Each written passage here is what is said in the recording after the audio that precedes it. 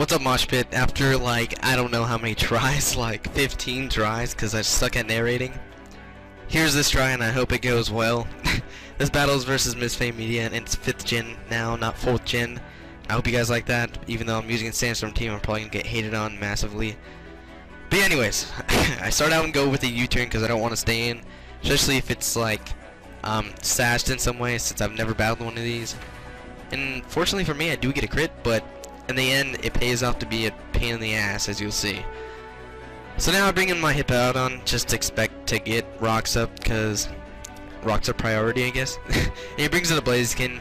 I thought something was kind of fishy about that, and I was predicting him to go for the Protect, but he predicts me to do that and goes for the Swords Dance, which is really good on his part. But for me, I know he can't kill me with anything unless he has, like, a hacked Waterfall Blaziken or something. But he goes for the high jump kick, and I'm like, okay, I can just roll you off now. But then he gets the crit. And now everything is looking awful for me. And yeah, it's basically Blaziken sweep now. I'm sorry guys. I'm gonna get swept by Blaziken this entire video. Oh man. Go sub to him. He subbed me with the Blaziken. He's really good. No. But I wasn't really expecting the Stone Edge. Um, I was just expecting double stab and baton pass.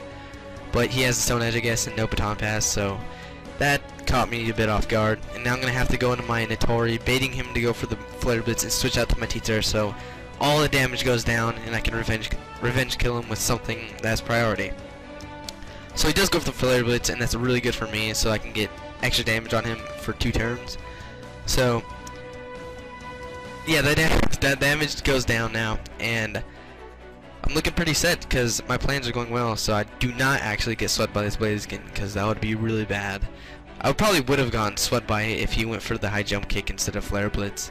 I was probably no, that wasn't really a misplay. He's just going for the safe move, you know. But that high jump kick right there was really risky in case of um it missed or not.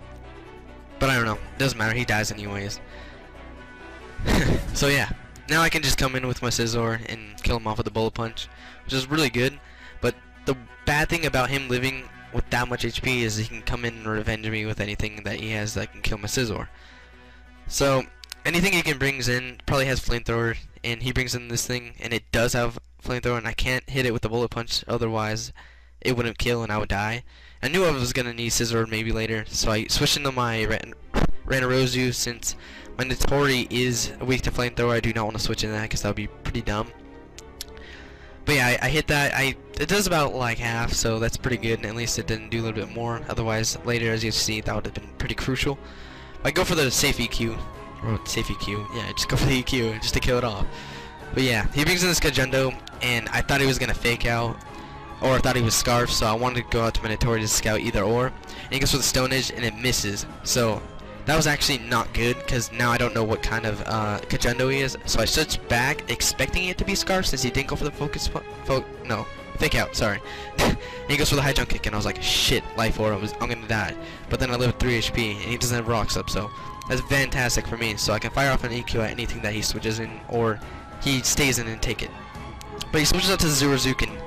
I'm really not sure why he did that because it's just gonna get two hit KO'd. Even if he was Scarf, I'm Scarf, so I don't know why he really did that, but I don't know, either or something is about to die. I don't know, I'm just anyways, I killed that off and I think he was trying to fake me out um thinking um thinking I thought he had the fake out. So I switched back into my Tori, Tori and he goes for the chirp. I'm like, damn, what the hell? I've never seen one of these before. But yeah, I don't really Wi-Fi battle. Like I only Wi-Fi battle just to post stuff, and then yeah, I, I never I never even see Gajendo in the first place. So it's just ah oh, man, that thing really messed me up. But anyways, now I'm just gonna switch back into my Ranorosu and just hit him with the EQ. I think he really, I don't know if he was using random Pokemon or not, but he needs a Levitator because everything on his team gets hit by EQ. And a stab EQ is just outrageously strong, especially from Randarozu and Sandstorm. You guys may know that. I don't know if you know that, but yeah. Anyways, he brings in this thing. I don't know what it's called. Never even battled one before because it's pretty shitty from the looks of it. And yeah. So I go for the EQ, and with the Intimidate, it does that much still. It's just like, damn, that thing is just awful. but yeah, anyways, I, I can just switch into my Scizor now and go for the bullet, bullet Punch. So that was a great game, MistPhame Media, or Miss Fame. Go sub him, sub me, sub Mosh Pit. Hope you guys enjoyed. Rate, comment, subscribe. That was a long outro, but yeah, anyway, anyways, peace.